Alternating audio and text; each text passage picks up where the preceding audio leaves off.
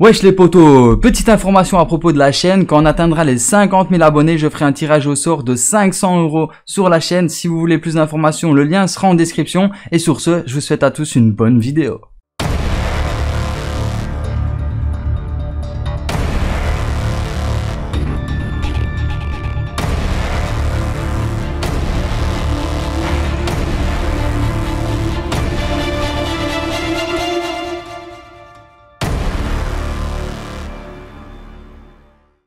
Wesh les potos Bienvenue sur ma chaîne YouTube, c'est cool Mike et aujourd'hui je vais vous présenter une vidéo sur Fortnite Battle Royale à propos des nouveautés que la mise à jour a apportées.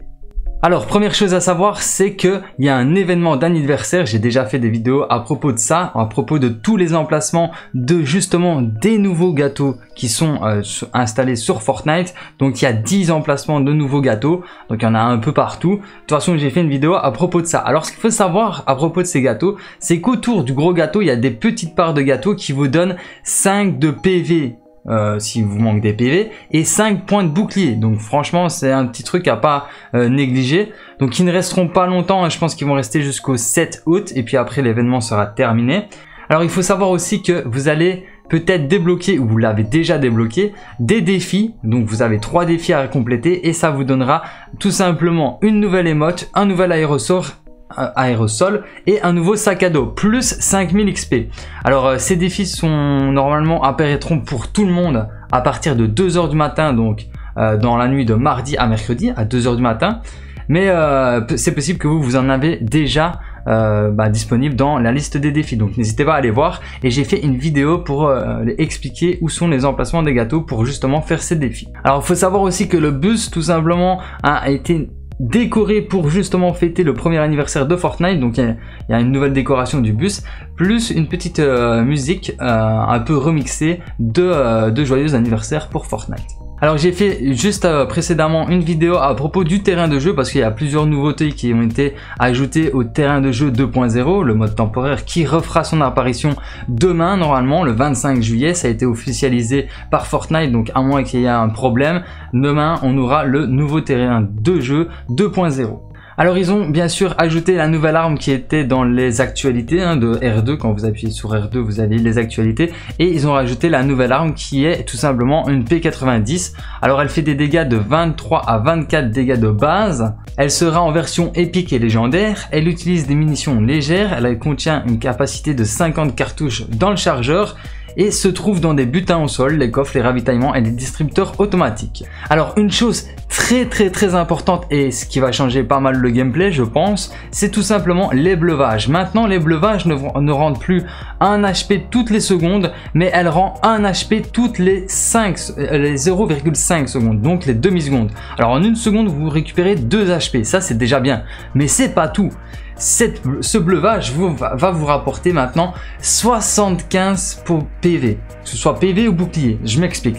En fait, si maintenant vous êtes à, 50 PV, elle va vous donner 50 PV, donc en 25 secondes, elle vous rendra vos 50 PV, mais elle donnera les 25 euh, PV suppléments, enfin qui manquent, parce qu'elle elle donne 75 de PV, bouclier et vie compris. Donc, si, euh, si elle en a utilisé 50 pour vos PV, elle va vous donner 25 supplémentaires pour vos, euh, votre bouclier. Donc franchement, c'est assez insane. Imaginez maintenant, il vous reste un HP. Vous avez deux petites popos et deux bleuvages. Et eh bien avec les deux petites popos, vous les mettez en premier.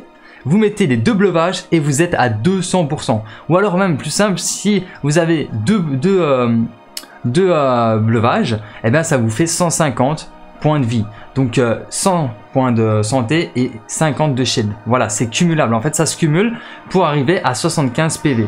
Peu importe que ce soit en, euh, en, vie ou en bouclier. Alors il faut savoir aussi qu'il y a eu des ajustements par rapport aux chances d'apparition de butin dans les ravitaillements. Donc c'est par rapport aux armes, aux pièges, aux objets, etc.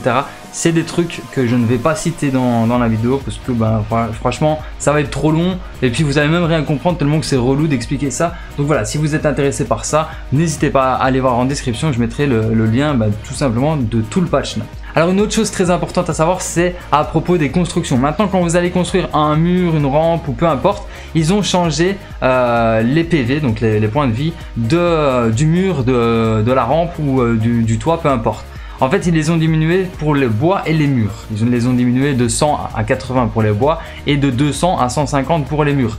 Par contre, ils les ont augmentés pour les métals. De 400 de métal de point de vie, vous passez à 500. Donc ça donne encore une, euh, un objectif supplémentaire à farmer le métal et non le bois ou la brique. Mais voilà, ils ont fait ça pour que euh, les gens qui font des build files ben, soient un peu plus euh, désavantagés, mais c'est pas en enlevant 20 points de PV que ça va endommager quelque chose. Alors Jedi m'avait dit un truc, donc de la M Victory, m'avait dit un truc assez pertinent il trouve que ce serait bien et je pense que ce serait pas mal quand même. Bon, même si moi euh, j'aime bien avoir euh, un, 1000, 1000 euh, de bois, ce serait quand même bien qu'il bloque à 500 de bois. Comme ça, les build files se diminueraient parce qu'on sait très bien que les build fights, bah, c'est tout simplement 80% du gameplay.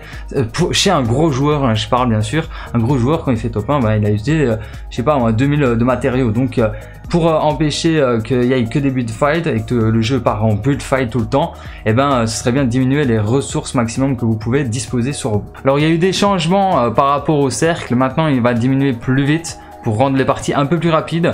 Donc c'est pas... Euh, moi j'aime bien, franchement ça me dérange pas parce que ça me fait penser un peu euh, au mode Blitz. Je sais plus si ça s'appelait comme ça mais je pense que c'est comme ça. C'est le mode Blitz où euh, ça allait plus rapidement les parties et je trouvais que ça c'était mieux. Donc c'est bien qu'ils ralentissent, enfin qu'ils accélèrent les, les zones. Alors une autre chose assez euh, bien, parce que franchement ça me prenait la tête, la course automatique, euh, elle déconnait complètement depuis un certain temps.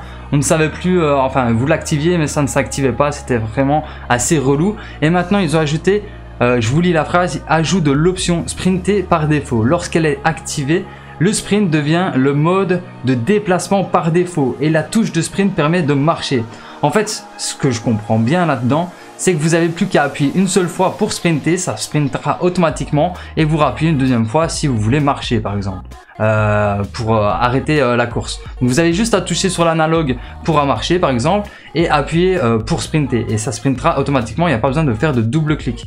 Je sais pas encore si ça fonctionne réellement bien, j'ai pas encore essayé, mais voilà, j'espère qu'ils ont bien corrigé ça parce que franchement c'était la galère. Alors une petite astuce que j'utilisais avant, je ne sais pas si je vais encore l'utiliser, mais c'est que quand je faisais double, euh, que je double analogue pour sprinter, ben, j'appuyais deux fois sur X pour sauter deux fois et après ben, la course auto fonctionnait, mais sinon elle ne fonctionnait pas et ça me faisait royal chier. Alors la dernière chose que je vais vous parler, c'est tout simplement des constructions.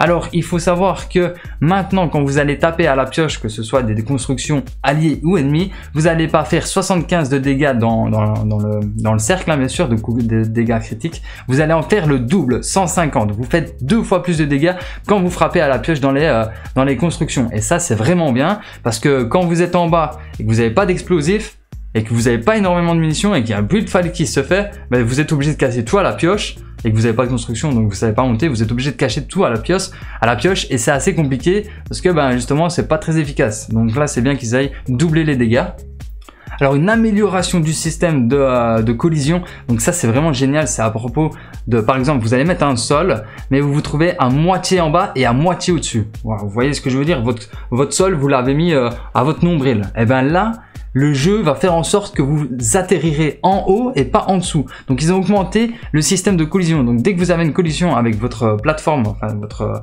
ouais, votre plateforme que vous allez placer, par exemple votre sol, si vous êtes à moitié au-dessus, ben, bim, direct, ça vous fera téléporter en haut. Et ça, franchement, c'est quand même bien parce que combien de fois, euh, en étant un builder euh, débutant, on va dire, parce que j'ai vraiment du mal, euh, quand combien de fois j'ai pas, je me suis pas enfermé moi-même dans mes propres constructions parce que ben, voilà, j'ai construit trop vite, je suis en panique, j'arrive pas bien à gérer le bazar. Donc voilà, c'est franchement, j'aime bien cette amélioration. J'espère que ça va m'aider à euh, mieux gérer euh, ce système de construction. Donc voilà, c'est tout pour les informations qui m'intéressaient. Euh, après, si vous voulez en savoir plus, il y a des informations sur les corrections de bugs, sur les performances, les performances de son, les interfaces, les arts et les animations, les systèmes de rediffusion, les mobiles, le sauver le monde, etc. Tout est dans la description. Je ne vais pas faire une analyse de tout euh, le page note parce que bah, franchement, c'est pas intéressant. Moi, ça m'intéresse pas. Donc voilà, j'espère quand même que ces informations vous aura plu. Si c'est le cas, n'hésitez surtout pas à liker, à partager et à vous abonner si ce n'est pas déjà fait. Moi, je vous dis à très bientôt pour plus de vidéos. C'était soit cool Mike et ciao, peace.